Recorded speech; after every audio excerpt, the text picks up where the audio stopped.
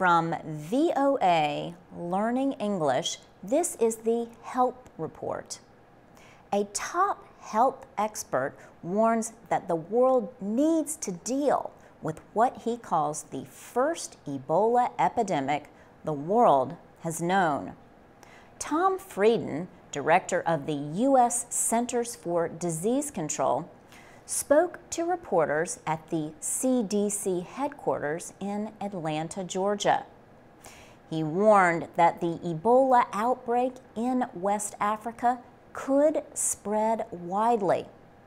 He said a huge global effort is needed to contain the disease. Dr. Frieden just returned from a visit to the most affected countries Sierra Leone, Guinea, and Liberia. He said Ebola cases continue to increase quickly, even though healthcare workers are working extremely hard against the spread. News reports say the number of cases is more than 5,000. Dr. Frieden warned that there is a window of opportunity to stop Ebola, but he added that window is closing.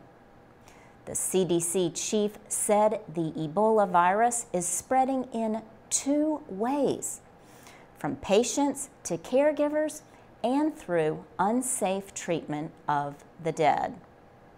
Dr. Frieden warned that each day's delay in dealing with the Ebola spread makes it more difficult to stop. The CDC director said resources, technical experts, and a worldwide organized and unified plan are needed. He said Ebola is not only an African problem, but a world problem. U.S. health officials have announced an agreement with a California based drug maker, Mapp Biopharmaceuticals. The deal calls for the company to speed development of the experimental Ebola medicine ZMapp. ZMapp has not been tested on humans, but two American medical missionaries who had Ebola were treated with the drug and recovered. For VOA Learning English, I'm Laurel Bowman.